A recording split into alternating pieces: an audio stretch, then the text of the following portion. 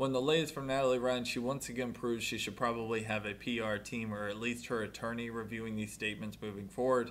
The DGPT is removing me from the OTB Open.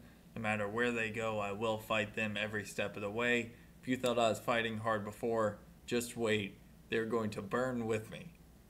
They're going to burn with me, is how she concluded this post. Let me know down below what you think that means. Uh, so, first off, it sounds like a threat to the PDGA and the DGPT, the very organizations she's in a massive lawsuit with right now. So, probably not a great idea there.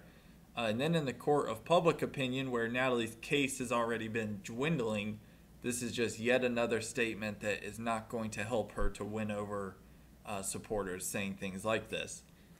And another way of looking at this, they're going to burn with me. It it reads like if I can't play professional disc golf, nobody can. Once again, not going to help your case. This idea of if you can't participate, I'm going to ruin professional disc golf for everyone. Just once again, not not helping anything. And then lastly, and yet another twist of irony, as we often see with Natalie Ryan's statements, is she is criticizing and wanting to burn down what she considers to be a a transphobic, a biased, an unfair, unjust organization, or I should say organizations between the two. But she continues to try to participate in their events.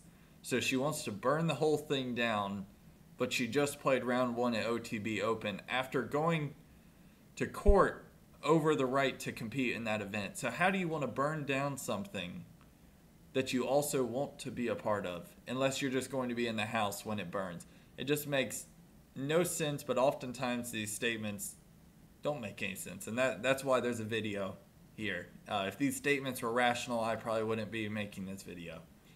Uh, the, the one, I guess, silver lining here is this, this statement is uh, very Katniss Everdeen esque. And if we burn, you burn with us. And so now over here, just the last thing, they're going to lose this fight, and they know it. Uh, just a perfect way to to cap this off. They're going to lose this fight, and they know it. Making that statement the day after the PDGA and the DGPT were successful in appealing her suit or her restraining order, and have now blocked her from playing at the OTB Open. I mean, I was curious what was going to happen here, and they just completely removed her name. So it doesn't even look like she played yesterday, and they don't even have her as like a DNF disqualification. They just completely pulled her from the event as if her round yesterday never existed. Uh, so to say that they're going to lose this fight and they know it after they just had a victory and are probably semi celebrating the whole thing. I just I don't I don't even know. Help me understand down below what exactly all of this means. What are the next steps for Natalie Ryan if she wasn't successful in California? Does she have a chance anywhere else? It's unlikely, but you never know. We certainly know she's going to continue fighting it, and we'll get more statements like this moving forward. So, thanks for watching.